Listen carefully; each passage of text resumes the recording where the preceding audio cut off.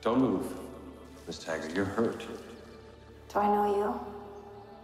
I think you do. Where are we? Am I a guest or a prisoner? That choice is yours. You're the first person to come to this valley by accident. Stay for one month, and at the end, you can choose to stay or go. Ladies and gentlemen, Taggart Transcontinental. Dagny, we are on strike. This is a strike of our minds. You quit. All of you did. We had to withdraw. But what about what you left behind? Unlike you, I don't believe in abandoning the fight.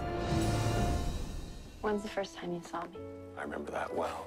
You were standing on the Taggart passenger platform. If your shawl had slipped any further down, you'd have been standing there naked.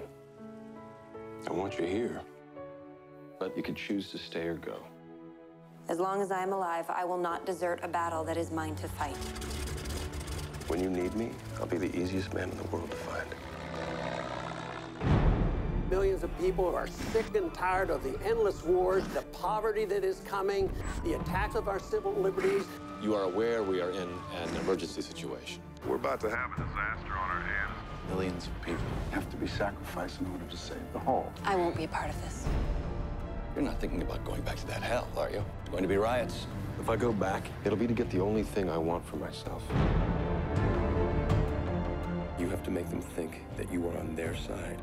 They need me alive, but they wouldn't think twice about hurting you. To everyone within the range of my voice, this is John Galt speaking. Those who have left you are eager to build a world of freedom. It's the end. No, it's the beginning.